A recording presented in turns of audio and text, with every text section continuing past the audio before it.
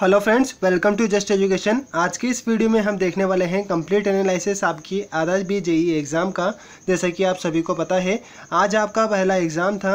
ठीक है तो यहाँ पे किस प्रकार का आपका पेपर आया है और कौन कौन से प्रश्न आपसे पूछे गए हैं इस एग्ज़ाम में, यहाँ पे कंप्लीट एनालिसिस मैं देने वाला हूँ विथ आंसर के साथ।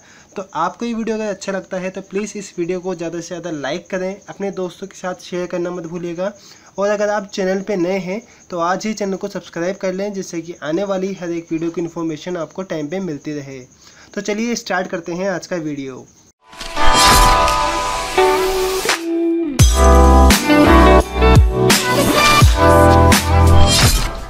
तो देखिए दोस्तों, यहाँ पे जो प्रश्न आपसे पूछे गए हैं, वो हैं आपके सामने। Atomic number of uranium uranium का एटॉमिक नंबर कितना होता है?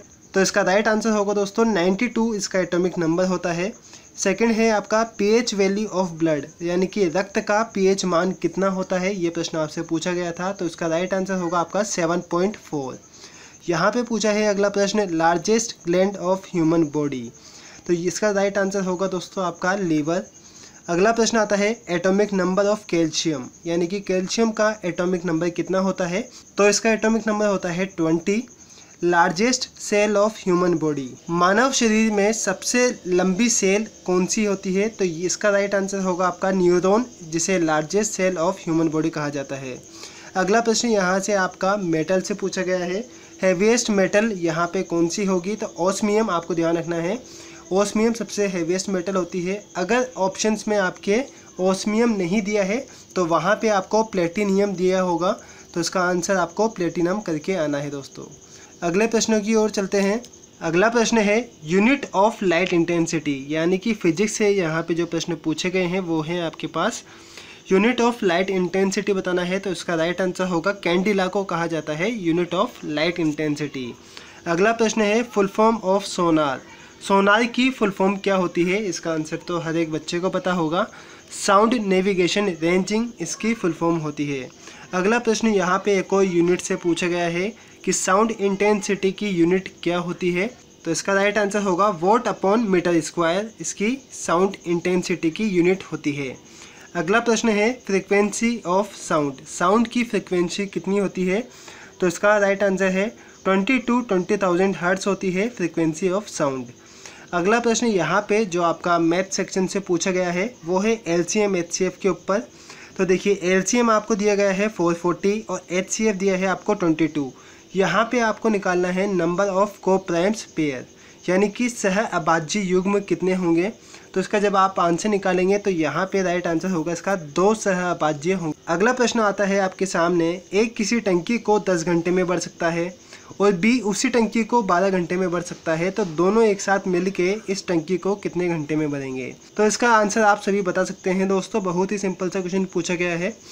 यहाँ पे अगला प्रश्न आपका आता है जीके सेक्शन से, यानी कि कैपिटल ऑफ़ नॉर्वे क्या है? तो इसका आंसर होगा ओस्लो को कहा जाता है capital of Norway world cup जो कि होने वाले हैं 2023 में, वो कहाँ पे आयोजित किए जाएँगे? तो ये होंगे आपके इंडिया के अंदर दोस्तों।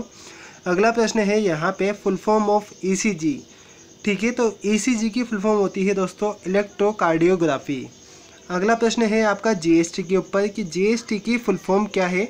इसका आंसर दोस्तों आप सभी को पता होगा कि फुल फॉर्म ऑफ़ जीएसटी होती है गुड्स एंड सर्विस टैक्स अगला प्रश्न यहाँ पे पूछा गया है सीईओ के बारे में पूछा है, जहाँ पे आपको नोकिया और गूगल के सीईओ का नाम बताना है। तो नोकिया की बात की जाए तो इनके सीईओ का नाम है राजीव सूरी और गूगल का सीईओ का नाम है सुंदर पिचाई। अगला प्रश्न है, जयललिता की पार्टी का नाम क्या है? तो इनकी पार्टी का नाम है A I A D M K most electronegative element यहाँ आपसे पूछा गया था तो मोस्ट इलेक्ट्रोनेगेटिव एलिमेंट होता है फ्लोरिन साथ ही साथ दोस्तों, मैं यहाँ पे आपसे कहना चाहूँगा पीरियोडिक टेबल की आपको ट्रेंड्स हमेशा देख के जाने हैं। जो ट्रेंड्स होते हैं कि अगर आप ग्रुप्स में अप टू डाउन आएँगे, नीचे की तरफ़ आएँगे तो यहाँ पे आपका जो इलेक्ट्रोनेगेटिविटी है, वो आपकी कम होगी या ज़्यादा होगी, ठीक है? इस प्रकार के जो भी प्रश्न होते हैं, वो आपको ध्यान रख के जाने हैं, क्योंकि यहाँ से प्रश्न आपके ज़रूर बनेंगे आगे भी। अगला प्रश्न आपके सामने जो पूछा गया था, ग्रीन कलर इन फायरवर्क्स जो आपके पटाखे होते हैं, उनमें जो हरा रंग होता है, वो किसकी वजह से होता है? तो उसका राइट आंसर होगा बेरियम।